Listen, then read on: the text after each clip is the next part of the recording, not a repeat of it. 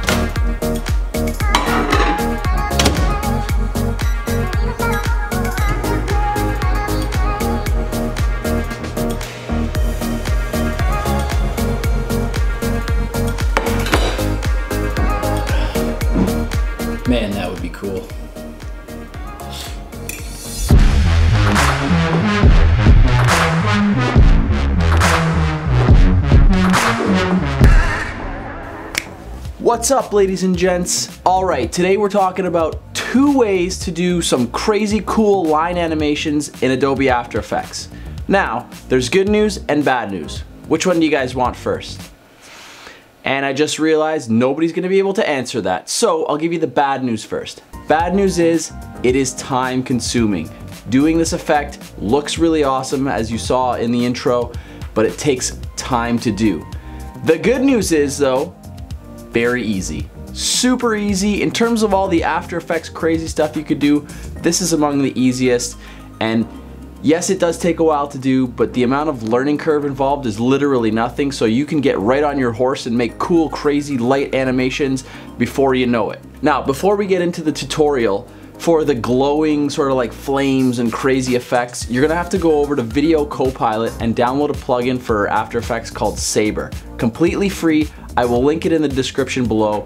It just has a whole bunch of variety in terms of visual effects. Like it's not just a straight glowing line. You can have fire, you can have lightning, smoke, all these cool things. Quick, free, easy download. Like I said, links in the description. You're gonna need it moving forward. Now let's get into it. Alrighty, let's get into method number one using the Video Copilot plugin Saber. Make sure you download and install that. Link is in the description. Totally free, by the way. Okay, so we've got our footage in Adobe After Effects. You just import your, your footage, make a new composition. And there's a couple steps you have to follow, but I'm telling you, really straightforward, so we're just gonna bang this out real quick. So the way I have my After Effects set up, I've got my files in the bottom right corner. You're gonna right click underneath and go to New, Solid. Now, when you're pulling up a new solid, the default is gray. You're gonna wanna change that color to black. Here's why. Click OK, and you've got black over your footage. Now, you can't see anything, you don't know what you're working on, that's not gonna work. You're gonna right click that layer, go to blending mode, and screen.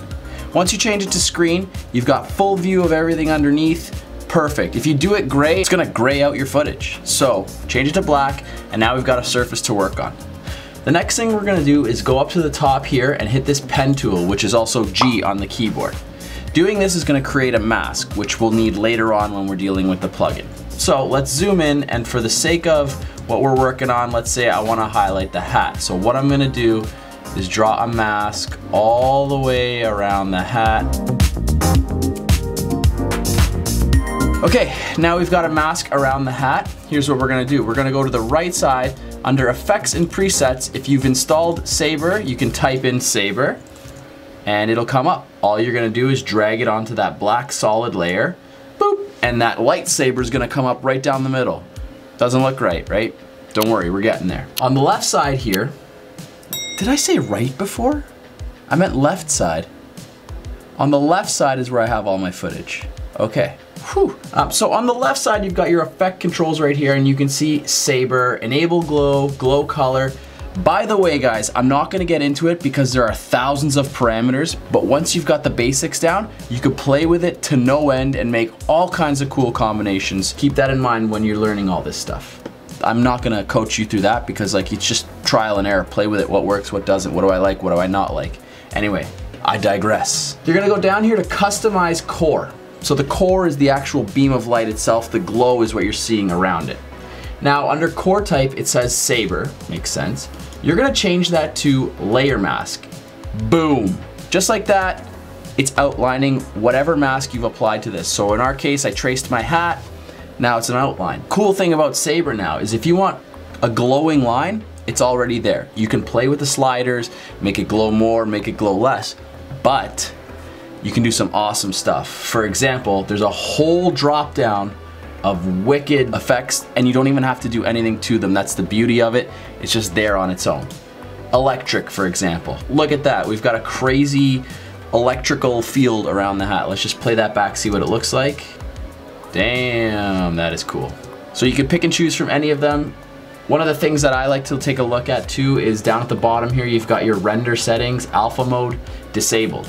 So you can mask the core which is the light itself, the actual like beam of light that traced around your thing, or you can mask the glow, and that sort of masks the outer and it keeps that hard glowing line there, which is cool as well.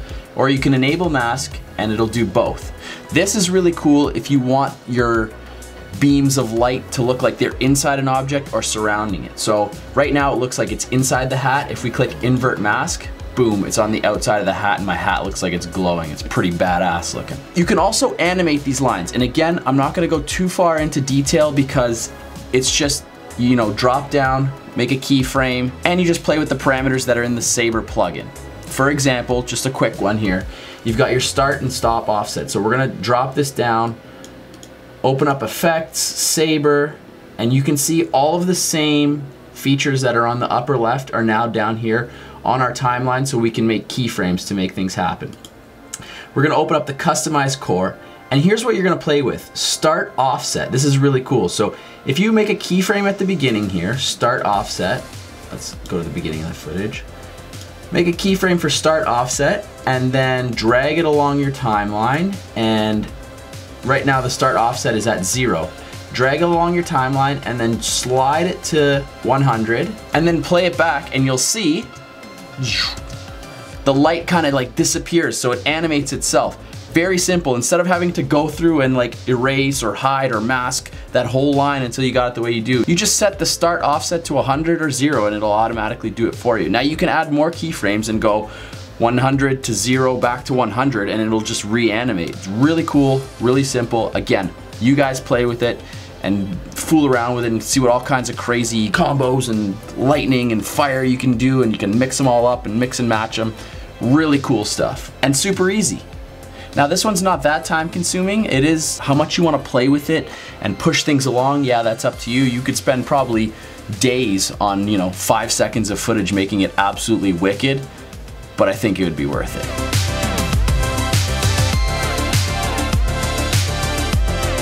Now, moving on to option number two. Option number two is more for the people who aren't as comfortable with After Effects, but you know, you can still find your way around using it. It's not, I know After Effects is very intimidating, but option number two is an even easier method using the brush tool. You're basically painting in your animation. For this second option, what you're gonna start by doing is duplicating your layer. So, you have your layer selected, you're gonna hit Command or Control D on your keyboard, PC or Mac, and it's gonna duplicate that layer. Now, double click that layer because in order to paint, you need to be working in the actual file and not the composition. Just double click it. Honestly, listen to me. I'm not gonna steer you guys wrong. Then you're gonna go to the top left and select the brush tool. So far, pretty straightforward. On the right side, in the paint tab, you have duration, single frame, constant, write on, custom. You're gonna wanna have single frame selected. I don't think that's what it's selected by default. Make sure you select single frame. RBG, RBG, RGBA, and mode normal. From here, all you're gonna do is you're gonna go frame by frame and paint what you want. So, if we want a line to trace around my hat, as I'm walking towards it, you're just gonna paint on the start and just keep adding. So we've got a little line. Pro tip, here's a little quick shortcut. Page up, page down. That cycles between previous frame, next frame, okay? So I would keep your fingers on page up, page down because that's gonna help a lot. What you're gonna wanna do is check what you've drawn, go page down and continue the drawing. So we've got that little white line, we'll hit page down and you see it disappears, you're just gonna have to redraw it again and extend it a little further. So page up, page down. Page down again, extend that line a little bit further. Page up, page down, you can see the progress you're making. Page down, it's blank, extend that line a little further. Page down, repeat the process until you're numb. This is what I was talking about why it takes a long time. Yes, it's like the dumbed down version of the previous method.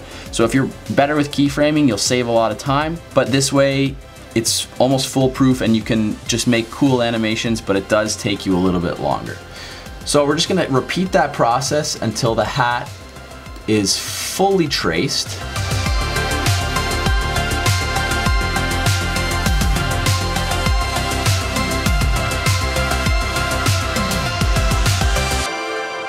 All right, so now that our hat is fully traced, we can play that back and you can see what it looks like. It's a really quick animation. Zoop.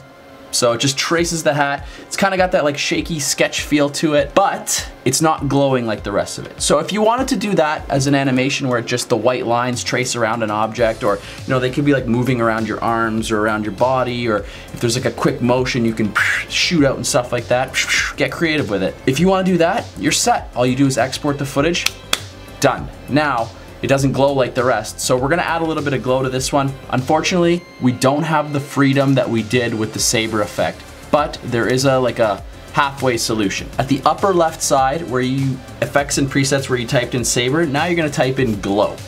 And all you're gonna do is drag glow onto that layer that you just drew on. Now you'll notice that everything is kind of blown out. We don't want that.